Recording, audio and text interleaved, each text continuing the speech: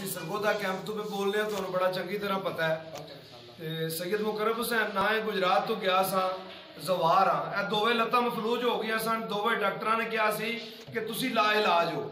ਪਾਕਿਸਤਾਨ ਵਿੱਚ ਲਾ ਇਲਾਜ ਹੋ ਗਿਆ ਉੱਥੋਂ ਸਾਈਆਂ ਨੇ ਕਰਮ ਕੀਤਾ ਮੇਰੀਆਂ ਦੋਵੇਂ ਲੱਤਾਂ ਠੀਕ ਹੋ ਗਈਆਂ ਨੇ ਮੈਂ ਵਾਪਸ ਆ ਗਿਆ। ਮੈਂ ਡਰਾਈਵਰ ਹਾਂ ਸੀਜ਼ੋ ਦਾ ਯੂਨੀਵਰਸਿਟੀ ਦੀ ਬੱਸ ਚਲਾਉਣਾ ਵਾ। ਮੇਰੇ ਬੱਚੇ ਕਿਹਦੇ ਆਸਰੇ ਤੇ ਬੈਠੇ ਨੇ? ਉਹ 15 ਦਿਨ ਵਾਸਤੇ ਮੈਨੂੰ ਛੁੱਟੀ ਲੱਭੀ ਸੀ ਜਾਂ ਮਹੀਨੇ ਵਾਸਤੇ? ਤੇ ਮੈਨੂੰ ਇਹ ਤੀਸਰਾ ਮਹੀਨਾ ਕਿਹਦੇ ਚੱਕਰ 'ਚ ਡੱਕਿਆ ਗਿਆ, ਕਿਉਂ ਸਜ਼ਾ ਦਿੱਤੀ ਜਾ ਰਹੀ ਹੈ? ਜਦੋਂ ਕਰੋਨਾ ਤੇ ਕਰੋਨੇ ਵਾਲੇ ਪਾਸੇ ਸੱਟੋ ਸਾਨੂੰ। ਜੇ ਨਹੀਂ ਕਰੋਨਾ, ਤੇ ਬਰਾਏ ਮਿਹਰਬਾਨੀ ਕਰਕੇ ਸਾਹਿਬ ਅਸੀਂ ਤੁਹਾਡੇ ਹੱਥ ਬੰਨ੍ਹਨੇ ਆ ਕਿ ਸਾਡੇ ਤੇ ਮਿਹਰਬਾਨੀ ਕਰਕੇ ਤਰਸ ਖਾਓ ਤੇ ਸਾਨੂੰ ਆਪਣੇ ਬੱਚਿਆਂ ਕੋਲੇ ਘਾਟ ਟੋਲੋ ਤਾਂ ਕਿ ਅਸੀਂ ਉਹਨਾਂ ਦਾ ਜ਼ਰੀਆ ਮਾਸ਼ ਬਣ ਸਕੀਏ ਤੇ ਉਹਨਾਂ ਦਾ ਆਉਣ ਵਾਲਾ ਵਕਤ ਜਿਹੜਾ ਉਹ ਚਲਾਈਏ। ਤਾਂ ਕਿ ਉਹ ਇਹ ਨਾ ਕਰਨ ਕਿ ਅਸੀਂ ਗੁਆਂਢੂ ਮੰਗਨੇ ਆ ਪਏ ਚਾਚੇ ਕੋਲੋਂ ਮੰਗਨੇ ਆ ਪਏ ਮਾਮੇ ਕੋਲੋਂ। ਕੋਈ ਕਿਸੇ ਨੂੰ ਸਾਹਬ ਨਹੀਂ ਦਿੰਦਾ ਕਿਸੇ ਦੇ ਬੱਚਿਆਂ ਨੂੰ। ਸਾਰਿਆਂ ਦੇ ਮਾਪਿਓ ਬੱਚਿਆਂ ਨੂੰ ਰੋਟੀ ਆਪ ਹੀ ਕਮਾ ਕੇ ਦਿੰਦੇ ਨੇ।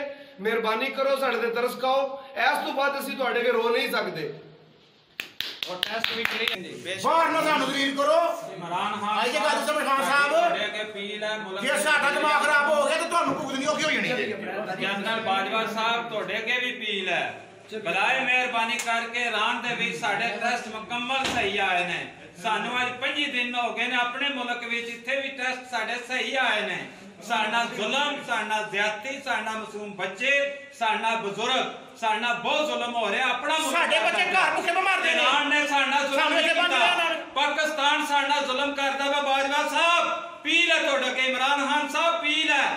ਡੀਸੀਓ ਸਾਹਿਬ ਕਹਿ ਰਹੇ ਨੇ ਟੀਕੇ ਲੱਗਣ ਦੇ ਜ਼ਹਿਰ ਵਾਲੇ। ਜਿਸੇ ਸਾਨੂੰ ਟੀਕੇ ਲਾ ਕੇ ਪਰਵੇਜ਼ ਲਾਈ ਸਾਹਿਬ ਸੌਂਗੇ ਹੋ, ਨਹੀਂ ਮਰਦਾ ਸੌਂਗੇ ਹੋ ਐਮਐਨ ਐਮਪੀਏ ਉਹ ਜ਼ਿਲ੍ਹੇ ਗੁਜਰਾਤ ਵਾਲੇ ਡੀਸੀਓ ਟੀਕੇ ਲਾਣ ਲਗਾ ਦੇ ਧਮਕੀ ਲਾਈ ਹੈ ਕਿ ਤੁਹਾਨੂੰ ਟੀਕੇ ਲਾਏ ਜਾਣ ਦੇ ਜ਼ਹਿਰ ਦੇ ਬਰਾਏ ਮਿਹਰਬਾਨੀ, ਇਮਰਾਨ ਖਾਨ ਸਾਹਿਬ, ਬਾਜਵਾ ਸਾਹਿਬ, ਆਰਮੀ ਨੇ ਮੁਕੰਮਲ ਬਾਤ ਕੀਤੀ ਹੈ। ਆਰਮੀ ਅੱਗੇ ਫੇਰ ਮੈਂ ਅਪੀਲ ਕਰਨਾ ਬਾਰਡਰ ਵਾਲੀ ਆਰਮੀ, ਜਿਸ ਤਰ੍ਹਾਂ ਲਿਆਂਦਾ ਸਰ, ਇਸ ਤਰ੍ਹਾਂ ਹੀ ਸਾਨੂੰ ਘਰਾਂ 'ਚ ਪਹੁੰਚਾਇਆ ਜਾਏ। ਮਿਹਰਬਾਨੀ ਨੇ ਸਾਥੀ ਆ ਸਾਰੇ ਮਜਬੂਰ ਆ ਸਾਰਿਆਂ ਦੇ ਬੱਚੇ ਨੇ ਛੋਟੇ ਛੋਟੇ ਉਹਨਾਂ ਨਾਲ ਕਿਉਂ ਜ਼ੁਲਮ ਕਰਦੇ ਹੋ ਪੇ?